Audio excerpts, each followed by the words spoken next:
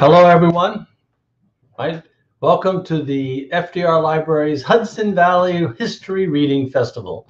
This is our second session today. I'm Paul Sparrow. I'm the director at the FDR Library, uh, and we're so pleased to have you all here today. Uh, we're wish we were open so we could do this live. Uh, hopefully, certainly looking forward to it next year. Uh, but we're going to go to our our second author today. Uh, his name is David Levine, uh, and his book uh, goes back a little further in history than we normally do here. Uh, it's called, uh, he's the author of the book, The Hudson Valley, The First 250 Million Years. It's a short book. It's mostly chronological and occasionally personal history. Um, uh, David is a freelance writer and editor and is the co-author, author, and ghostwriter of six sports books, including Life on the Rim and In the Land of Giants. I assume that's about basketball. Uh, he currently writes about lifestyle and general interest topics from history and business to beer and baseball. As a contributing writer for Hudson Valley, Westchester, and the uh, 914 Inc. magazines. He lives in Albany, New York, with his wife Kimberly and his daughter Grace, uh, and his faithful dog Sadie. Uh, put back on your time machine goggles as Davis takes us back to the age of dinosaurs and describes the history of the Hudson River Valley. David, thank you very much for joining us today. Thank you, Paul. I appreciate it. Thank you for having me. Uh, I am also glad that we're able to do this, even if it is virtually. So, to hello to everyone out there in the Matrix. Thanks for logging in, and uh, thanks for listening to my little talk here. Um, so, yes, as Paul said, my name is David Levine. I'm a journalist. Uh, I've been a writer uh, not quite since FDR was president, but uh, almost that far back since the Carter administration, when I took a college internship with a local newspaper in Rochester, New York. Uh, I've been a working writer and editor since then.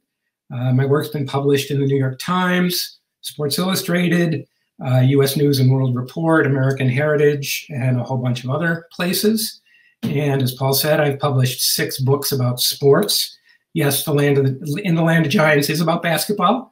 It was the autobiography of uh, Muggsy Bogues, who is in no way a giant. Um, so anyway, uh, this is the first book I've written in about 25 years. Uh, it came out last year, and I was supposed to be at the uh, reading festival last year, of course, before COVID got in the way. Um, so I'm glad to be back touring, as it were, and uh, talking about the book. Um, so how did this book come to be? I began writing for Hudson Valley Magazine in 2007 as a contributing writer. And about three years later, the editors said they were going to start a history column, and they asked me to write it. Excuse me. So I said yes, because I'm a freelance writer and I have to say yes to everything that pays. But uh, some yeses are better than others, and this one turned out to be one of the best yeses I ever yesed. Um, I'm not from the Hudson Valley originally, so I didn't know a lot of the history uh, I have come to learn that it's as historic a region as any in the country. Um, I've lived in the Albany area for about 30 odd years, some of them very odd. Um, but uh, except for some day trips and weekend um, excursions down the valley, uh, you know, to eat at funky restaurants or to stay at cool places like the Mohonk Mountain House, I didn't really know how much has been going on here in the Hudson Valley for such a long, long time. So over the past 10, 11 years, I've learned, beginning with my first history assignment about the nature writer John Burroughs, and continuing through the most recent article to make this book, which was uh, about Alexander Hamilton's time in the Hudson Valley. Uh, I've had the great pleasure of immersing myself in 250 million years of Hudson Valley history. From the dinosaurs that left their fossilized tracks here, to the glaciers that carved the lakes and shaped the hills here, from the first peoples to first contact, from colonial rule to independence, from the slave society to the Civil War, from the birth of the modern nation to the happy rise of craft beer. Uh, the Hudson Valley has quite a story to tell. In fact, many stories. Uh, the book contains about 70 stories uh, that were as I said, um, collated from articles that I wrote for Hudson Valley and other magazines. Uh, and for this little uh, presentation, I'd like to read short excerpts from a, a, dozen or so of them, just to give you a sense of my style. Uh, I'm a journalist, I'm not a historian, so I hope to make this a little bit more fun. Um, but also to uh, test your knowledge a little bit about the Hudson Valley. I'm going to throw in a question uh, in the middle of each reading, and I'll give you each a second or two to think about it. If we were in person, I would let you raise your hands, but we can't do that. So I'll just let you think about it, and then I'll give you the answer. Just sort of a little Hudson Valley Jeopardy. And then after that, we'll do the Q&A. If you have any Qs, I'll try to provide the As. So, um, Cliff, how about the first slide? Jurassic Park, Chester. The midday sun, directly over the equatorial region of the great landmass Pangaea, sears the warm and forbidding land. A creature leaves the herd and scurries across the edge of a marsh to find cover behind a fern. She waits perched on three bird like toes, supporting her hind legs. She is not a bird, though, she's a lizard who stands about three feet tall at the hips, but leaning forward spans nearly 10 feet from nose to tail. She's looking to add to her 40 pound frame. She's looking for lunch. Other beasts are grazing nearby on the fruit, leaves, and the cycads and other tropical plants that forest the region. but our creature wants meat. When a small, furry animal, rodentish but not rodent, pops out of its nest, he snaps it up in her long, powerful jaws, crunches it easily, and speeds off gracefully to rejoin the herd, leaving behind nothing but footprints in that marshy mud slowly drying under the deep sky. More than 200 million years later, those very footprints, or at least some like them, will be found thousands of miles away in latitude and longitude, in an unexpected place, in a world unfathomably different from that in which they were left. So here's your question Where were those footprints left? You can hum the Jeopardy theme song here do, do, do, do, do, do, do, do. And the answer is they were found in Nyack Beach State Park in Haverstraw in Rockland County. These tracks and the relatively few other clues left in our geologic neighborhood from the Mesozoic era tell us what the lower Hudson Valley was like during the age of the dinosaurs. These were the first dinosaur fossils found in New York State, discovered in 1972. Imprinted in slabs of rock that now belong to the New York State Museum in Albany, the footprints belong to the type of lizard known as a grallosaur. Excuse me, our beast was probably Coelophysis, a slender bipedal carnivore that lived throughout the east coast of what we call North America. It's also found in other parts of the world because back then there was no North America. There was no New York, no Hudson River, no Rockland County. There was only Pangaea. So now we know what the Hudson Valley was like 200 and some million years ago. And I think it's fascinating to think of our area being located in the middle of what's now the Atlantic Ocean, thousands of miles away, uh, with creatures like this running all over it. Next slide. Ice capades. When you or I stand on the great lawn at the Vanderbilt Mansion in Hyde Park, we picture ourselves living the grand lifestyle of fin de siècle Hudson Valley aristocracy, of opulent balls and market rigging business dealings, all held amid the stunning landscape of the river and the mountains under Frederick Church skies. When Johanna and Robert Titus stand on that same lawn, they picture something a bit different. in their mind's eye, they're knee deep in water at the edge of a vast lake that stretches from the middle of the eastern Hudson Valley counties to the middle of the western counties, and from somewhere near Glens Falls all the way to the Atlantic Ocean, which is about 100 miles farther south than it is now. Far to their north, a glacier, thousands of feet high, that once covered the continent from the middle of Long Island, west through Cleveland, Chicago, and Omaha to the Dakotas and Montana and the great Northwest, is in the process of melting its way back to the Arctic. The Tituses you see are standing at the Vanderbilt Mansion circa 15,000 years BP, the geological term for before present. They recently published a delightful book called The Hudson Valley in the Ice Age. Part popular science, part travelogue. it is that rare science book that is both challenging and entertaining. Readers learn about arcane geological formations like moraines, alluvial fans, and rock drumlins. Better yet, they learn where to find the remnants of these formations through first person hikes and drive bys at a dozen easily accessible spots up and down the valley. Consider them postcards from the Ice Age. So I'm in Albany. Oh, I'm sorry. I asked the Tituses to pick a handful of their favorite spots to get interested parties started on their own geological time travel. Once you do, our beautiful valley will never look quite the same to you again. So I live in Albany, and my question is, which geological remnant of the Ice Age is Albany County's most famous landmass? I'll give you a moment to think about it. Those of you who don't live in Albany County or have never been here may not know. But the answer is the Albany Pine Bush. These days, the Pine Bush Preserve in Albany County is a foliage covered plot of hilly, sandy soil. Just after the glaciers retreated, though, it was a full blown desert.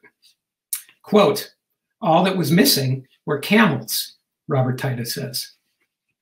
The sand was blown in from what is now Schenectady County, which then was one of Lake Albany's biggest deltas fed by the Mohawk River. As the lake retreated, the sandy deposits were that were its bottom were blown to the west, I'm sorry, were blown by the west winds and dropped here, forming the dunes and swales that have since been overgrown.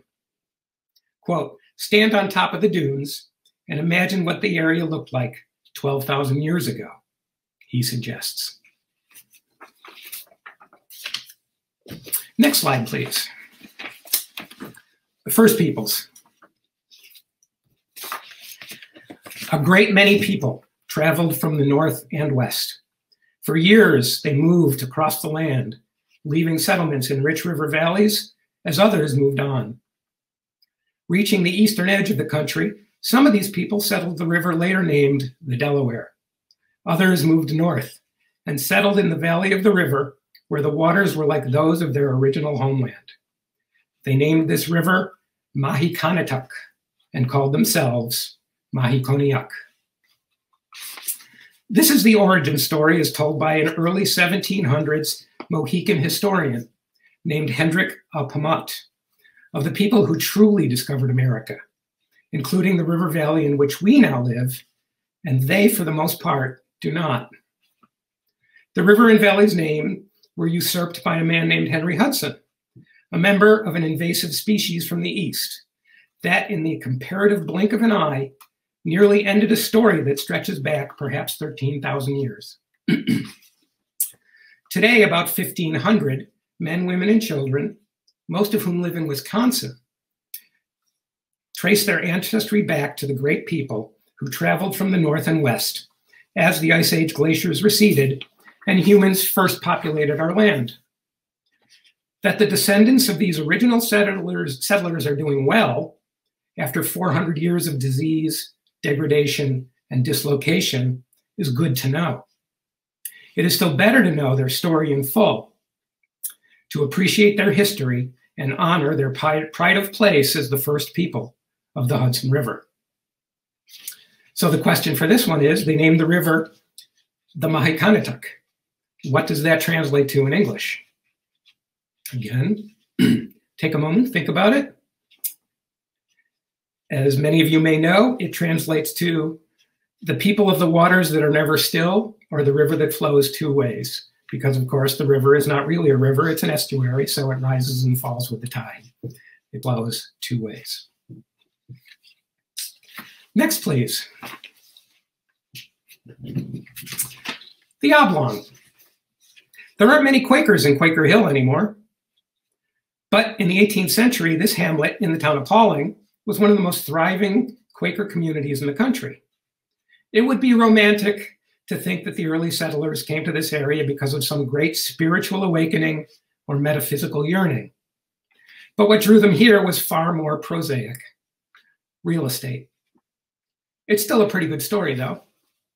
Back in the early 1700s, the colonies of New York and Connecticut were arguing about the exact location of their shared border. The surveys were inaccurate, and the colonies' land allocations were often in dispute. the issue was finally settled in 1731. New York was awarded an amount of land two miles wide by 60 miles long, running along its eastern edge all the way up to Massachusetts. This patch of land was called the oblong, a much cooler word than rectangle, but basically the same thing. The oblong was unsettled wilderness at the time. It was special wilderness, wilderness for one particular reason. It really was wild. No one owned it. It was not included on any of the original Dutch patents, and therefore it immediately became the first New World land in a long time to go on the open market. One of the first to get in on the action was a surveyor named Nathan Birdsall, a Quaker who had visited the area in 1728. Quote, at the time, the road ended at Danbury, so we had to cut through the forest to find it, says Robert P. Riley, Pawling's historian. When the land became available for purchase, Birdsall sent word to other Quaker communities in Long Island, Rhode Island, and Massachusetts, and a few hardy souls bought 500 acre plots around what they quickly christened Quaker Hill.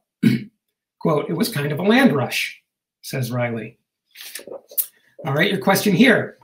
New York got the oblong, that 60 by 2 mile rectangle. What did Connecticut get? I can hear you all thinking out there in TV land. The answer is Connecticut got that weird little panhandle that juts into Westchester County uh, at the southwestern corner of Connecticut. If you wonder why, uh, wonder why the border of Connecticut isn't just a straight line, it makes that funny little U-turn. That's why. Next, please. Hamilton's left here and here, here too. Alexander Hamilton is most often associated with three places. The Caribbean, where he was born and orphaned, New York City, where he spent most of his professional and political life, and Weehawken, New Jersey, where he was mortally wounded at the famously pistoled hand of Aaron Burr. Missing from that GPS inspired biography, however, is another place that defined Hamilton as much as the others the Hudson Valley.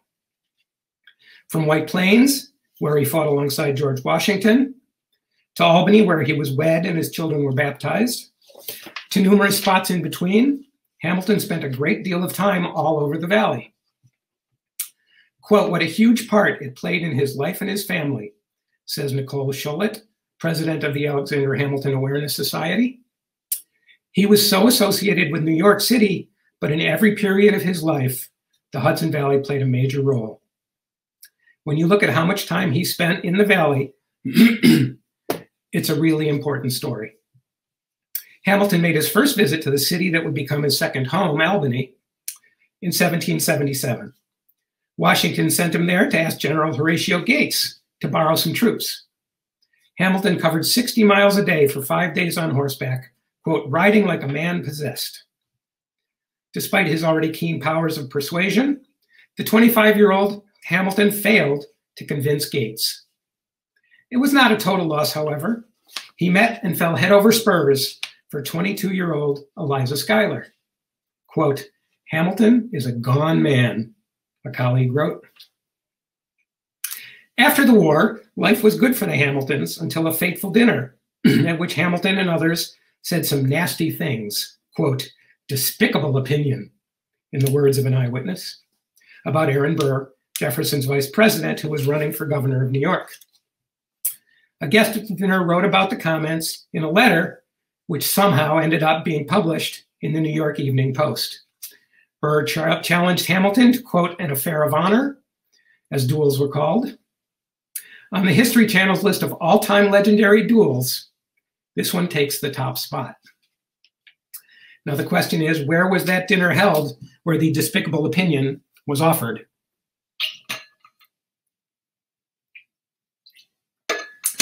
The answer was in Albany at the home of Judge John Taylor at a dinner party at 50 State Street.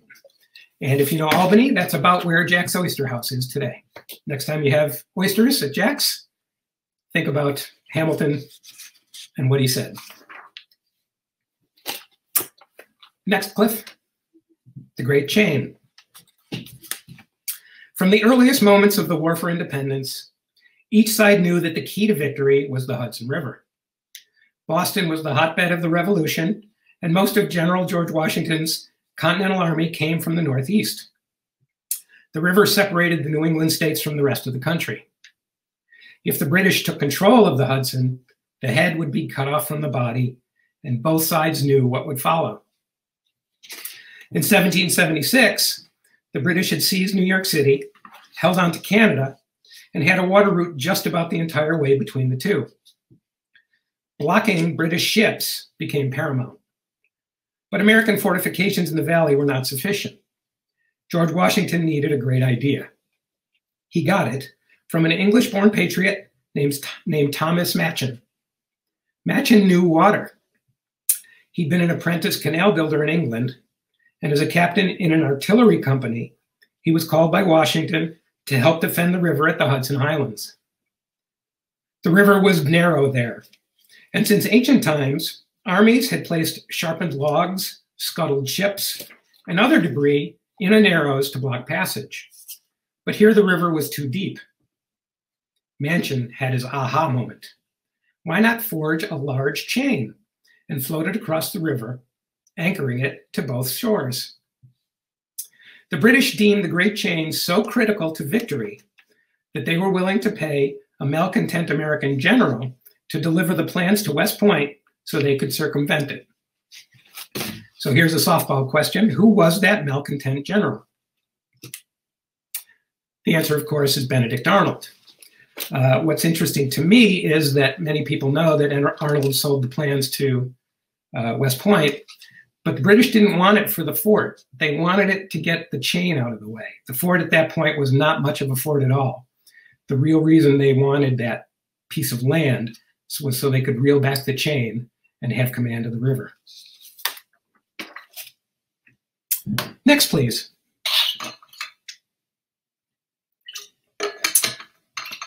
Whale of a tale. Herman Melville called him Ishmael. As every English major knows, Ishmael joined a whaling crew led by a certain deranged peg-leg captain and set sail out of Nantucket in search of a very large, very white Leviathan. What most English majors and Hudson Valley residents don't know is that Melville just as readily could have penned the Pequod's launching its doomed voyage out of Poughkeepsie or Newburgh, or most plausibly, which city in the Hudson Valley? That's your question. Which city am I talking about? The answer, for anyone who's been there, is Hudson.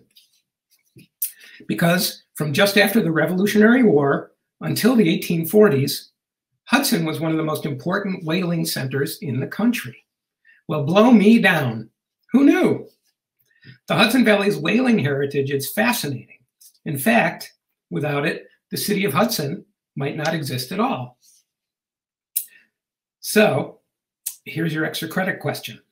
What was the town called before it became a whaling center? It was called Claverack Landing at the time, a farm community of about 10 families. Whaling, one of the world's largest and most important industries at the time, was the furthest thing from the community's mind. So was the ocean which was more than 100 miles away. It's so funny to me from not being around here and to many people who hear this story for the first time to think that whaling was a big deal eh, from the Hudson River that far up from the ocean. Next, please. Echoes of Big Thunder. On July 4th, 1776, a small but steadfast group of North American rebels banded together vowed to fight for their freedom and independence, and led an unlikely but ultimately successful escape from the shackles of old world European domination. But you knew that.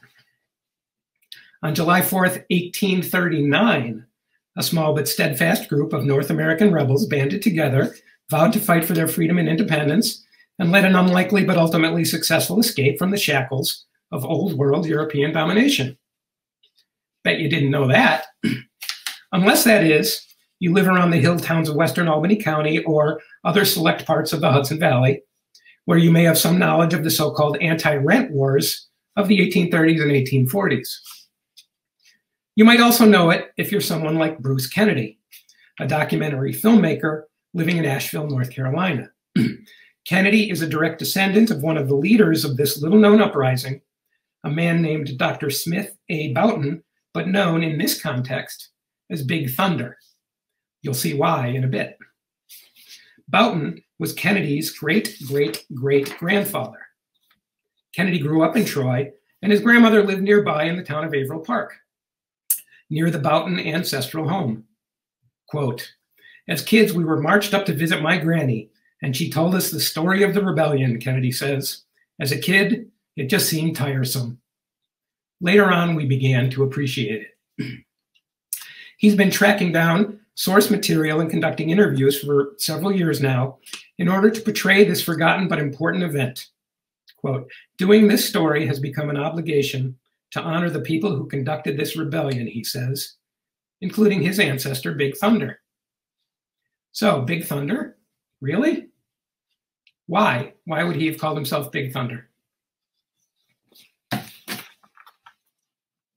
The answer inspired by the Boston Tea Party, the farmers disguised themselves as, quote, calico Indians, with costumes made from their wives' calico dresses and sheepskin masks and took names like Big Lion, Black Hawk, Red Wing, Thunderbolt, and yes, Big Thunder. They would sound tin dinner horns, and the Indians would gather to disrupt property sales, resist evictions, tar and feather opponents, and cause other acts of mayhem. And in doing so, they eventually brought down the end of the old feudal system of uh, working for the patroons who owned all the land up and down the Hudson Valley. Next. Thank you. Seeking truth. Even if she hadn't changed her name, Isabella Baumfree would likely still be remembered now, nearly 130 years after her death, for the brave and life changing work she did. But Baumfree did change her name, wonderfully so, and it has permanently cemented her in the pantheon of American historical figures. Indeed, today's best marketing and branding experts could not improve on the moniker she chose, Sojourner Truth. Even those who aren't quite sure what she did can tell by that name what she stood for. And yet, many of those who are able to describe her self chosen mission to, quote, travel up and down the land, speaking truth to power, may not remember that she began her travels in the Hudson Valley, where she lived for the first 30 years of her life. Question Where did she grow up? The answer in Ulster County, in uh, the town of Swartkill. Isabella Baumfree was born circa 1797, one of 13 children of slaves named Elizabeth and James Baumfree, who were owned by Colonel Johannes Hardenberg and worked his estate at Swartkill near what is now Rifton. This was still a heavily Dutch settlement, and Baumfree spoke only Dutch until the age of nine. She had a typically horrific slave's life. She was sold from her family around age nine, along with a herd of sheep for $100 to a man named John Neely. The Neelys spoke English, and Isabella was savagely beaten for being unable to communicate. She said that Mrs. Neely once whipped her with, quote, a bundle of rods prepared in the embers and bound together with cords. She learned English here, but spoke with a Dutch accent the rest of her life. I think it's fascinating to know that she spoke with a Dutch accent it tells it speaks to the history of the Dutch in this area, which you know, as as we all know, is probably the only area in the country that has that kind of a Dutch that kind of a history. Okay, Cliff, next please. Ah, they got legs. Legs Diamond, it was said, never met a friend he didn't double cross. Even by the dubious standards of Depression era gangsters, he was no good. His enemies pumped so much lead into him that Dutch Schultz once asked his own henchmen, quote, ain't there nobody that can shoot this guy so he don't bounce back? Yet by 1930, he was also the Hudson Valley's biggest celebrity, a symbol of the little guy standing up to the heavy government hand of prohibition. After being forced out of New York City, he set up operations in Catskill And most of the locals knew he was running booze out of a brewery in Kingston. But government agents charged with enforcing the 18th Amendment could never figure out how. Raids in the early summer of 1931 finally uncovered the subterranean secret to his operations and led to the beginning of the end for Legs Diamond. The man who may have gotten his name for the way he could run for his life ran out of running room. Five months later, someone finally shot this guy so he didn't bounce back.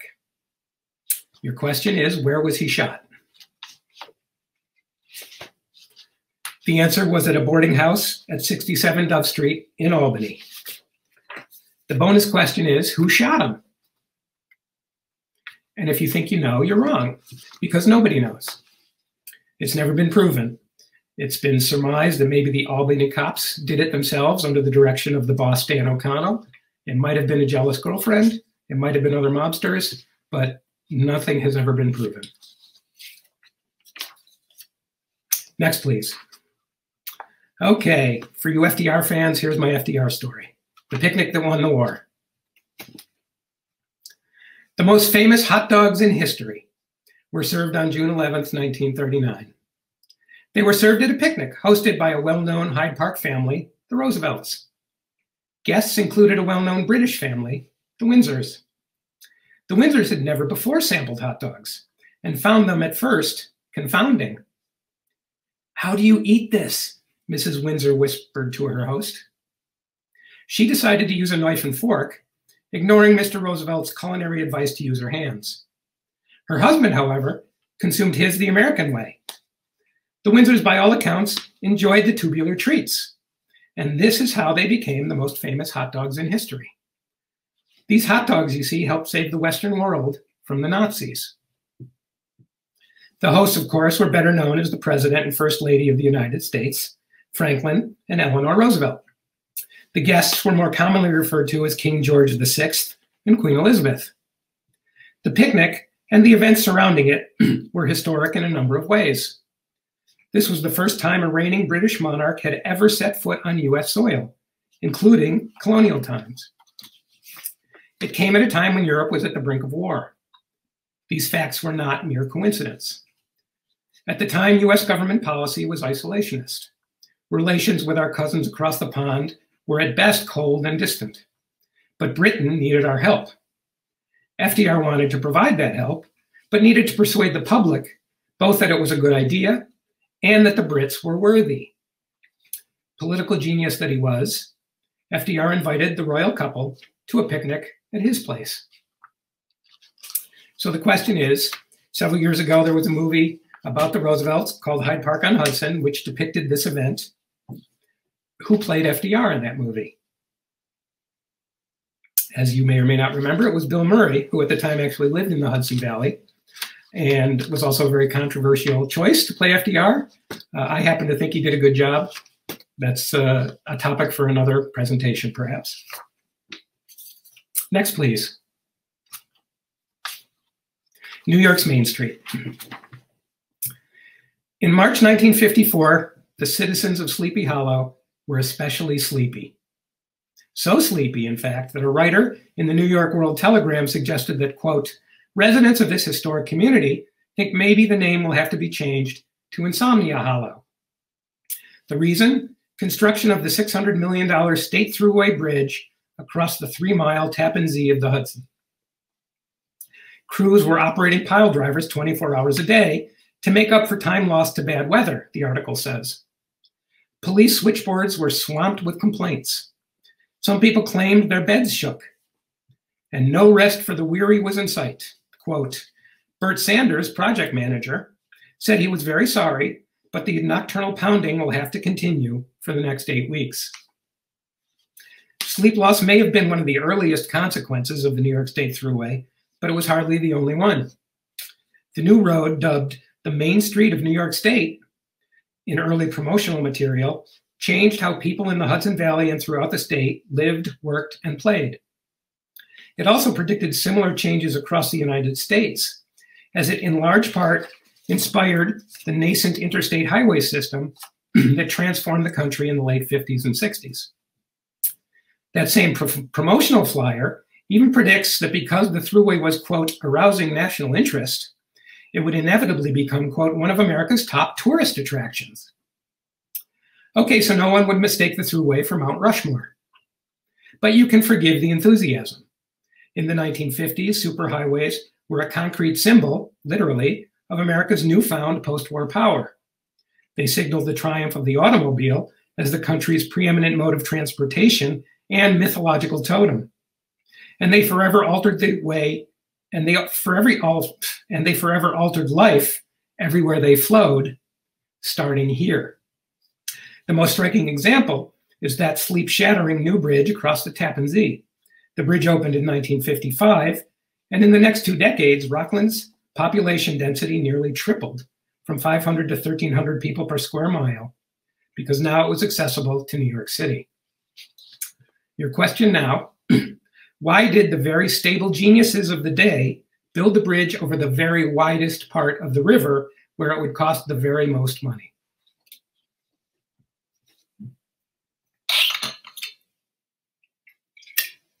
The answer, of course, is money and politics. The Port Authority controlled all the money up to the point where the Tappan Zee starts. So the newly uh, created Thruway Authority wanted, of course, to keep all the toll money. So they had to build a bridge outside of the Port Authority's jurisdiction, but as close to New York City as possible. That just happened to fall at the Tappan Zee, where they'd have to build the most expensive bridge. New York politics, it was always thus. Next, please.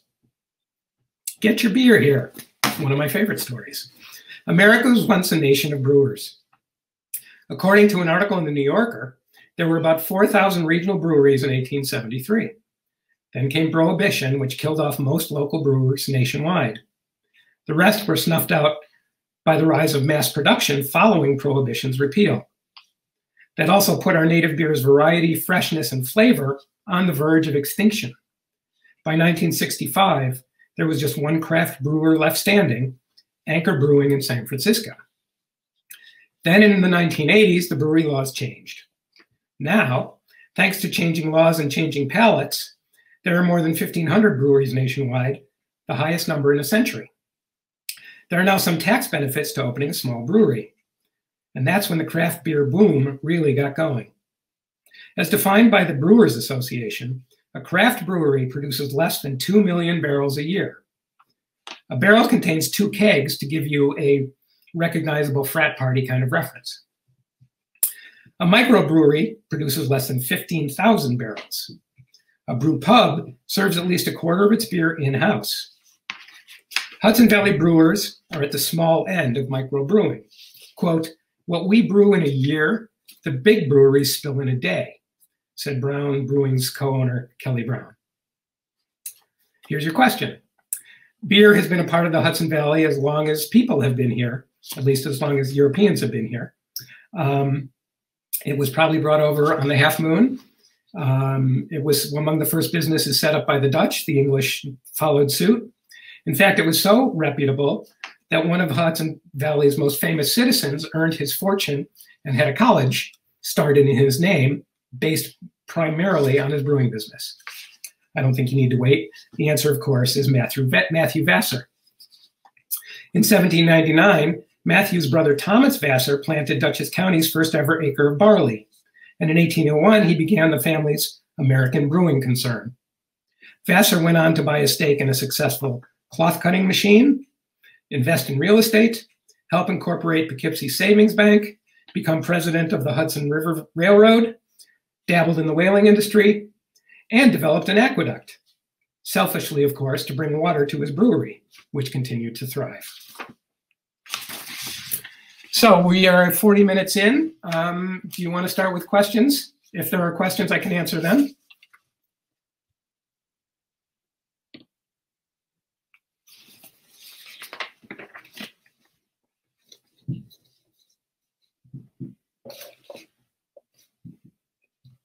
Or I can keep reading, whatever you guys want. What do you think?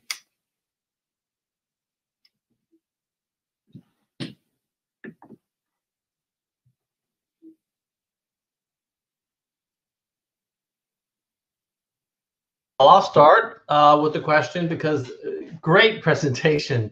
Um, Thank you. It really is fascinating. But of course, I'll start with the Roosevelt uh, question um, because, of course, the Roosevelts are just one of many families that moved up along uh, the Hudson River um, during the period of the mid to late 19th century. You know, the Vanderbilts moved, lived up here, the Mills, um, the Astors. It was quite a uh, collection of wealthy people living along the Hudson River. Can you explain a little bit why they all moved up? They all had mansions in New York. Why did they move up to this area, and why so many of them? Well, it started probably, uh, well, it did start around the Gilded Age when New York City was getting exceedingly crowded and exceedingly dirty. Um, so the rich, of course, didn't want to be bothered with that kind of stuff. Uh, it was also facilitated first by the steam ship travel and then by the railroads. So, of course, much of history is determined by transportation. Once it was easy to get back and forth, um, that's when people moved.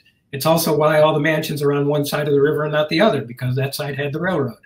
Um, that's pretty much what facilitated it. Of course, they had all the money in the world. The land was cheap. They could build their mansions tax free. Um, so that's pretty much why. So it was a combination of a a dirty city and easy transportation. So on the other end of the spectrum, why did they build Sing Sing prison where they did? um, I think again because the land was cheap. I, I, can't remember exactly why they picked that spot. Um, but but the funny thing about that is that it, it's why we still sometimes, at least those of us of a certain age, say when somebody's being sent to prison, they're being sent up the river. Um, that comes from the days when the gangsters of the Depression era were sent up to Sing Sing, and they were literally sent up the river. Well, it, it, one of the things that I was um, sort of quite amazed at when I first moved up here from Washington, D.C., uh, was that in, in D.C., along the Potomac River, it's parkland in most places. You know, right. uh, you have the C&O Canal that runs from D.C. all the way up to Harper's Ferry. Whereas along here, the riverfront, which you would always think of as the most valuable property, the railroad tracks on both sides. Right. Uh, and, and of course, that development of the, the railroads involved someone named Vanderbilt. Do you want to talk about the development of the railroads and how that impacted New York and the origins of Grand Central Station? It's a little bit outside of the Hudson River, but it's all connected. Yes, well, I mean, the railroads were certainly integral to developing the valley and then the rest of the country. And it's funny, one of the first famous authors to move to the valley was, of course, Washington Irving. And he had beautiful um, views of, of the Tappan Zee and unlimited access. And he was there before the railroads. And when Vanderbilt built the first railroad, he was not happy because it cut right across his basically his front yard. And he had to put up with trains rumbling through his yard every day. So um, he was there in the, what would be called the good old days before the trains came. Um, yeah, the trains, of course, were one of the three or four ways that people of that era made the most money trains, banking, and um, real estate, essentially. Um, Vanderbilt cornered the market with his, um, you know, as, as, they all did in those days, and created the way for people to travel. So travel got people out of the city. Those with money first settled the area. Um, then others, as they were able, came up, and then the towns and villages started to pop up around them. Um, so, so railroads were integral to everywhere in the country. Wherever railroads went, towns sprang up.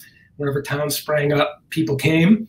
Um, you know, so you can pretty much trace the development of the country through where the railroads went, and you know, then later where the highways went. Um, when the interstate highway came, it killed a lot of the towns that were on the main, you know, off roads like Route 66 or Route 9 that goes up through the valley. They were thriving towns uh, before the thruway. When the thruway came by, a lot of them, unfortunately, you know, were left for dead. Some have come back and some are doing okay, but others weren't. So transportation is always key to where people live and you know where they settle. Oh, okay. I see a question here. What do you feel Albany can do to highlight its rich history better? Is historic preservation at a high enough level? What can be done to better focus preservation? Well, you know, those of us who love history will always say, no, they're not doing enough. They should always do more.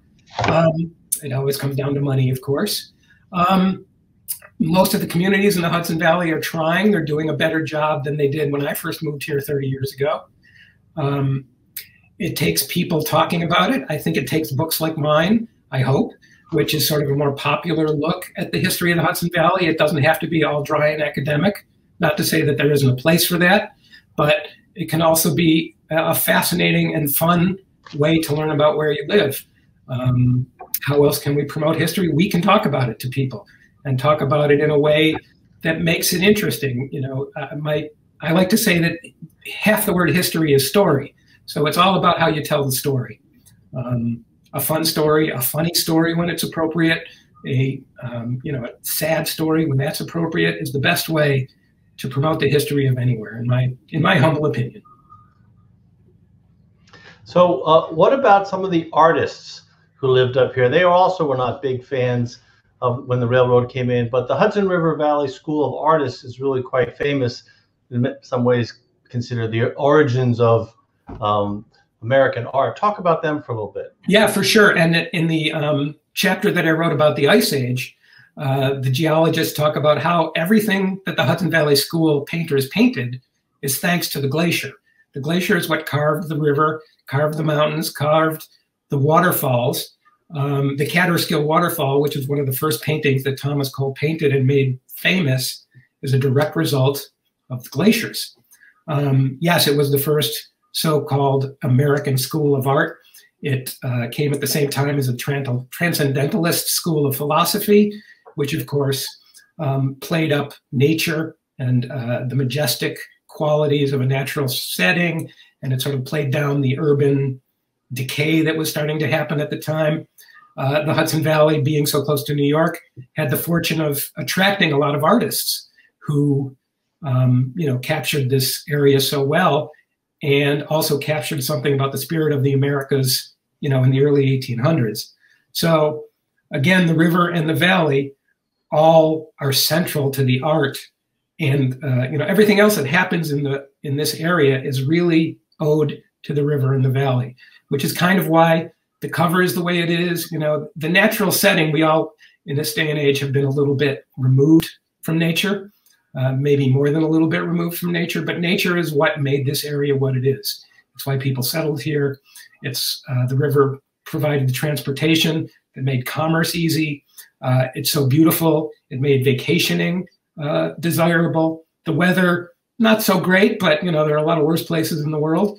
Um, so it's all owed to the natural beauty of this area, and uh, you know we can all thank that, and we should all be really more appreciative of it and get out in it more, especially during a pandemic when there's not much else to do. Now, uh, your chapter on the first peoples, and uh, that talk was very interesting. We had an author on a couple of years ago for the Hudson Valley History Reading Festival, who uh, was a, a, park ranger who talked about uh, the stone uh, sculptures and monuments and, and formations that uh, the indigenous people uh, created all around the Hudson Valley. Um, some of them in the shape of turtles, many of them are all along meridian lines mm-hmm. that align with equinox or solstice. Uh, do you talk about that at all in your book? And are you familiar with some of those formations? I'm familiar with them. I don't really address them much in the in my book. Um, my, my book talks more about how they lived and then how they were essentially wiped out. Um, but I know I am aware of that, and you know that's true of most prehistoric peoples around the world. That's how they communicated. That was their version of art. That was their science. So it's certainly not surprising that there would be things like that in this area. Um, what what I learned most from writing the story about the natives was that they're still around, and wow. we all tend to think that they're all dead and gone, but they're not. They again were settled eventually in Wisconsin, but they have a presence here now. People who live in the Albany area, even even just this past month or two, there's been a controversy about some Native American murals being posted on a new bridge uh, over the Northway. Um, so they're still being treated poorly. They were promised to have these murals put up, and then weren't and never got a good explanation why. Fortunately, it turned out okay, and the murals are now up. But it, it, it brings to mind, you know, the story, uh, Faulkner's famous quote, the past is never dead, it's not even past. You know, we're still treating the natives poorly, but they're still around and they still deserve our respect. And uh, you know that's really what I focused on in my uh, in the chapter in my book. Which historic site is the HUD is your best kept secret?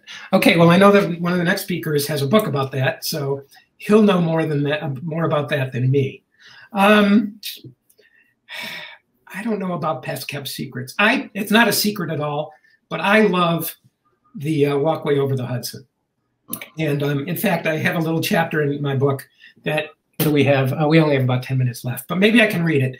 It's a story about me walking across the uh, walkway. Some of the stories in my books, in my book, are personal essays. That's why it's called a occasionally personal history.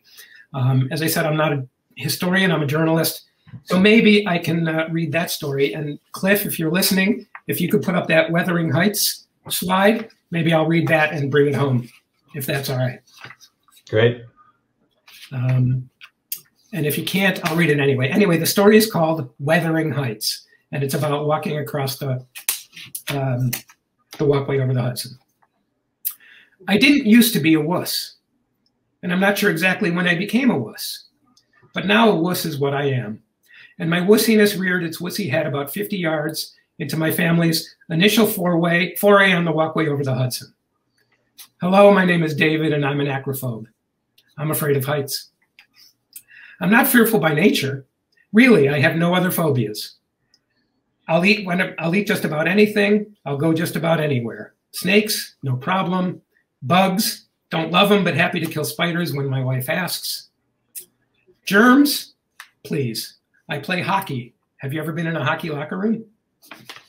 But about 25 years ago, out of the blue, I suddenly got, I believe the technical term is creeped out when driving over a bridge. Looking down from a balcony or rooftop shivered me timbers. I couldn't get within 10 feet of a cliff edge. I never had this problem as a kid. I remember thinking, what the hell is this? And I still think that every time I feel its wussy presence. It's not always a logical phobia, which I suppose is an oxymoron, isn't it? I'm fine in airplanes, but not so much in cars. Inside the penthouse, I'm all, look at that view. Out on the terrace, I'm jello in a moving subway. My family, of course, is well aware of my predicament. Are you going to be okay with this? My wife Kimberly asked when she saw me slide to the absolute center of the walkway. I'm fine, I barked in one syllable. Since I was clearly not fine, my daughter Grace then asked me every three minutes or so, Are you okay, Daddy? Are you okay, Daddy? Are you okay, Daddy? I'm going to push through this, I told them. It's not a petrified, stuck to the ground, unable to move fear. I just feel a bit queasy. My anxiety needle ticks up a couple of notches, like when a cop car pulls in behind you and follows you for a few minutes before he tears off after the other guy. I'm going to make it across, I told myself. But man, it's really high up here. Meanwhile, a grand parade passed me in each direction. Some were on foot, runners, walkers, limpers. Some were on wheels, bikers, skateboarders, rollerbladers, babies in strollers, seniors in wheelchairs. Dogs could do it. Cats could do it. Yes, someone had a cat on a leash. All of them seemed completely oblivious to the fact that they were 100 plus feet above a turbulent river and could, could, could what exactly? I asked myself. Reasoning with a phobia is like arguing with a Fox News fan, but I tried anyway. Could the bridge collapse? Short of a major earthquake or terrorist attack? No, it couldn't. Could you fall off? Short of the previous two events, are you downing a fifth of bourbon? No, you couldn't. What else you got, Frady Cat? I challenged myself. I knew I had nothing to fear but my fear itself. Then, just then, a tiny boy, not more than four or five, zipped past me on a tricycle. His head was down, his legs were pumping furiously. He was having the kind of pure fun only a tyke on a trike can have, and he was 100 plus feet above a turbulent river. I said, What else you got, wuss? I got nothing. So I made it to the other side of the river and walked back with my family. I still hewed to the center rivets mostly, but I did edge toward the edge to read the informational placards on each side of the bridge. And by the end, I'd found a steady state, a walking rhythm that let me actually enjoy where I was. It really is quite beautiful up there. And it really is quite beautiful here in the Hudson Valley. We're all very fortunate to live here. Well, that seems like a perfect time to end. I I share your enthusiasm. I love uh, the bridge, the walkway. I go out there regularly. I ride my bike out there, uh, and and I think it's one of the great urban redevelopment projects. Here was this rusting eyesore, mm-hmm. health hazard that's been turned into one of the great tourist attractions for upstate New York, um, and it and it's just extraordinary, especially in the fall when the leaves change color on both sides and you stand in the middle of the river. Yep. Uh, it's an experience that uh, unlike any other. David, thank you so much for joining us today. It's been great. Uh, I loved your talk, uh, and you know, I, I, get to talk about the mid 20th century Hudson Valley a lot. I don't get to talk about the mid 250 million years ago Hudson Valley, so it's great to hear about that as well. Well, now I, you can. I hope you Thank can join. Thank you very much for having me. Soon. Thank you. All right, we'll be uh, taking a short break, about five minutes. Uh, we'll be back with our third uh, author today. Uh, great talk. and so we'll see you in a few minutes.